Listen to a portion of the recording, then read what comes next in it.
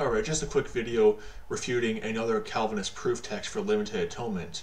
And you're going to see, just like all the other verses they use, it's eisegesis. They insert their own theology. They come to the Bible with a preconceived notion, with a pre-commitment to their theology.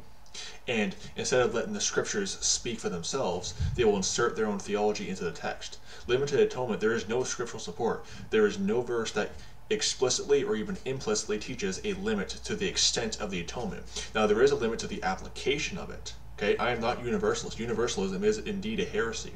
Universalism is the extreme other end of the of the whole spectrum. It's a doctrinal false dichotomy. But John chapter 15 verse 13 is one such verse they try to use to prove a limit to the atonement. And you're going to see just like with the other verses, nowhere is anything about the extent of the atonement taught in this text or in this context. Okay, let's look at the verse. John 15, 13. And you're going to see how they are taking this out of context too, by the way. John 15, 13. Greater love hath no man than this, that a man lay down his life for his friends. Now, again, where is anything about this being to the exclusion of the non-fringe or the non-elect? Where do you see that in the text? It's not in there. But you see the Calvinists, again, with their fallacy of logical inference, or sorry, uh, uh negative inference, they will come to the text with their pre-commitment to their theology and say, lay down his life only for his friends. That's how they would read it. That's how the Calvinist version would go. But notice verse 14. Ye are my friends if ye do whatsoever I command you. If ye. That's actually a conditional clause. It's free will. But also, uh, how do you become his friends? Well, you do what he commands you. Well, what's the command? What's the work of God?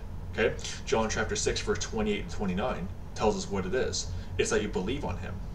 So this is in no way teaching a limit to the atonement. In fact, it's showing the opposite. You, you are my friends if you do whatsoever I command you. You know, what, what, how do you how do you do the commands of God? You believe on Him. John six verse twenty eight down to verse twenty nine. So, you know, read the text. Okay.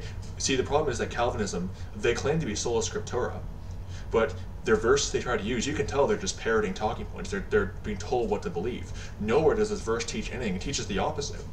Because you see, what Calvinism is, is it's not based on context, it's not based on comparing scripture with scripture, it's based on cherry picking, isolating verses from their context, and inserting your own theology.